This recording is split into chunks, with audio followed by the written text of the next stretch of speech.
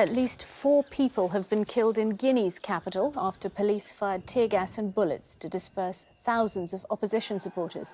They'd gathered in Conakry and across the country to protest President Alpha Conde's bid to extend his time in office. His mandate ends in December of 2020, but he's seeking a referendum to allow a third term.